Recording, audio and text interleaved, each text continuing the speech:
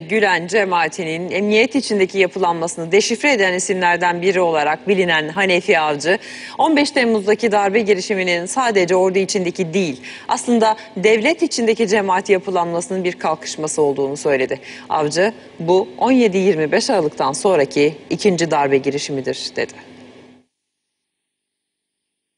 Ben bir darbe harekatı olduğunu hissettiğim, anladığım an dedim ki cemaattir.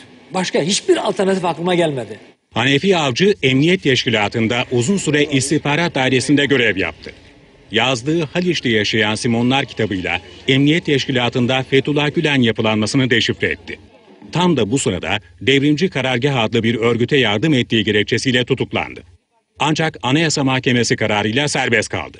Avcıya göre 15 Temmuz, cemaate bağlı askerin devlet içinde geniş çapta örgütlenen cemaat yapısı tarafından harekete geçirilmesinin sonucu. Ordu içerisinde bulunan cemaati savunan, cemaate bağlı askerler bir araya geldi, ihtilal yaptı. Hayır öyle bir şey olmadı. Bu ihtilal tamamıyla ce- cemaat tarafından programlandı, cemaat tarafından organize edildi, o oy tarafı uygulandı. Cemaat bunu uygularken ordu içerisinde askerleri kullandı. Avcıya göre 17-25 Aralık operasyonunun amacı da hükümeti devirmekti. Hanefi Avcı, cemaat yapısının boyutlarıyla ilgili tehdidin yıllardır bilinmesine rağmen geç harekete geçildiği ve bunun da yeterli olmadığı görüşünde. Türkiye'de böyle bir ciddi bir güvenlik zafiyeti var.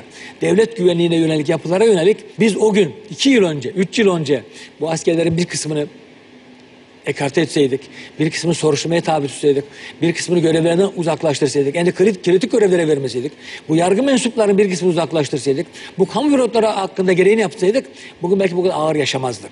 Yani burada bir zafiyet sadece istihbarat alma değil, alınan bilgileri yorumlama, değerlendirme, değerlendirilen bilgileri de karar olarak uygulama noktasında da ciddi zafiyetlerimiz var. İstihbarat daha aktif ve operasyonel olarak rol alması gerekiyordu. Avcıya göre bundan sonraki süreçte darbeye karışanların cezalandırılmasının yanı sıra cemaatin devlet içine sızan mekanizmasının da çökertilmesi gerekiyor. Burada yapılan bu işe karışan insanların kendisinden çok bence örgütü çözmemiz lazım.